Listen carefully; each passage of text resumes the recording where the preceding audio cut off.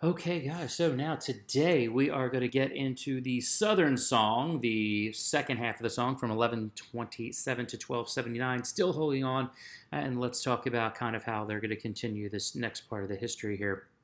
Um, so again, they're from 1127 to 1279, and so they have been defeated by the Jin and so, what do they do now? Well, they're going to move south and they are going to hang out primarily in this area here. You see the Jin are here. Okay, the new capital is going to be at Hangzhou. Um, here is the Jin and all these other groups, but let's just look who's up here. This is going to be an important thing in the future. All right, so they now need to shift things, and really, it is even more vital for them to have an important economy. Okay, so they're going to do some, you know, new things to bolster the economy as well as to protect themselves against the Jin in the north. And I'll talk about some different things. So the first thing we're going to talk about is shipbuilding and harbor improvements. Um, they're going to make some newer ships, uh, the Chinese junks. We're going to talk about that, and we'll show those more uh, at a separate one. They're also going to use like magnetic compasses and stuff like that. They're going to create uh, beacons and warehouses. Like, so here's like a warehouse here, okay, and more areas for ships to dock. Uh, here's a picture of a junk up here. And the idea is having more harbors, more modern harbors, so we can bring in ships with the new types of ships and really expand out of uh, into predominantly the, the South China Sea. Okay, and a lot of this, in order to do this, is they're going to create a standing navy. All right. Now, under the song, they're going to massively expand. So here are the, the junks up here. And these junks are going to be able to sail basically anywhere. I have here seas and rivers, and I'll get to that in a second. But what I have up here is what I want to explain is that these groups will go to the East China Sea, they'll go into the Yellow Sea, they'll go to Korea and Japan, they'll go into Southeast Asia, eventually the Indian Ocean, and Chinese junks will be seen as far away as the Red Sea. And that's going to be part of the Silk Road trade stuff that I'm going to talk about, and that's going to be a separate set of videos, but just understanding massively expanding these ships. And then the also the other part of this is not just merchants, is that we have to defend themselves. So that China creates one of the world's first standing navies in the East. Okay, yes, you had you know earlier areas, but I'm specifically talking about Eastern Asia here. Um, they're going to be active both in the sea and in rivers. Okay, uh, for instance, if you look on the bottom right there, that is a paddle wheel boat that the Chinese would invent, and that's um, something that they would use extensively on the sea. And as you can see here, it's got these would be some trebuchets or like kind of catapulty type things, as well as uh, that had gunpowder bombs. Um, they would also um, be able to shoot cannon from these ships. Uh, really, really successful. Um, they would defeat the Jin early and often, and one of the reasons why the Jin will kind of stay where they're at is because of the Navy of the Chinese. And this concept of the Navy, I want you to remember, this is going to be a big theme moving forward because the Navy is super important. And also, you're going to need military forces. So the Navy are the guys that run and operate the ships, and then they're going to have the Marines, much like the United States of America. The Marines, their job are going to be forces to not only defend the ships, but also um, armed forces when you land places that can do the fighting as well. And so this is pretty pretty impressive. Trade is also going to be super important. Um, the Silk Roads are going to be really uh, reinvigorated. Um, really during the Tang and the Song, and another group responsible for that will be the Abbasids uh, over in the Middle East, and we'll talk about them later.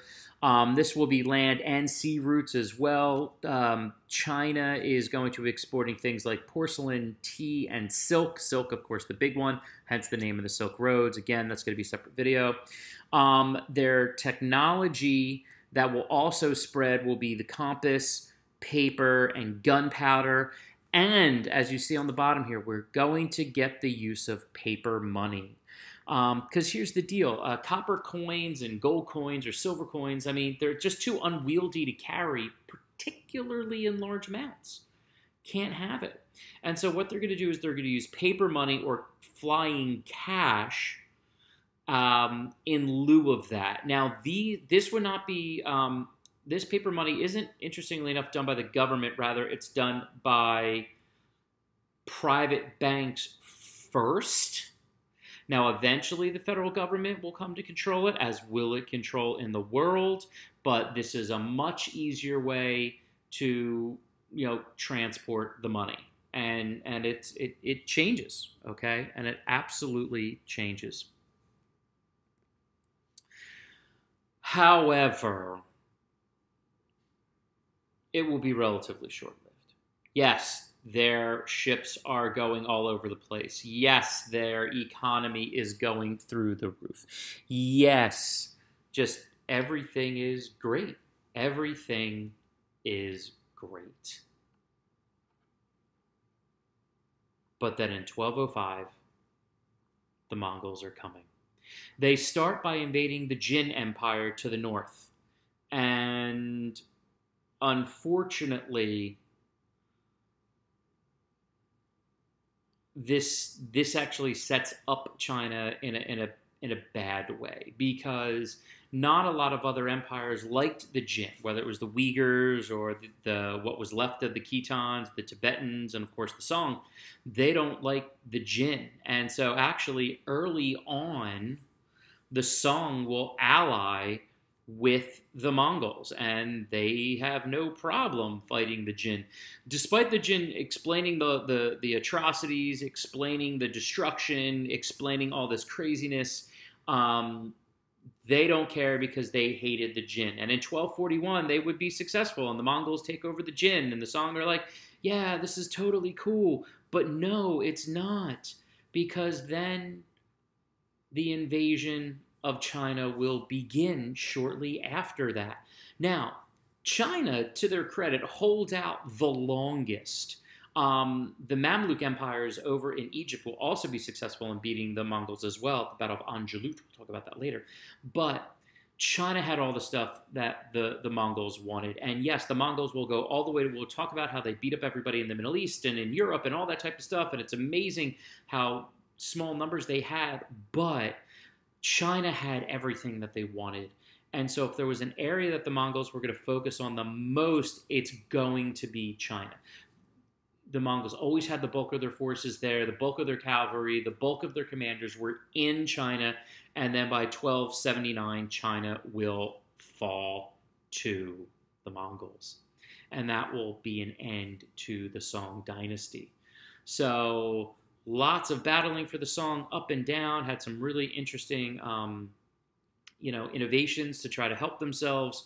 Uh, huge on the economic front, one of the reasons why the Mongols wanted them. But in the end, like so many other people in Asia, they will fall as well.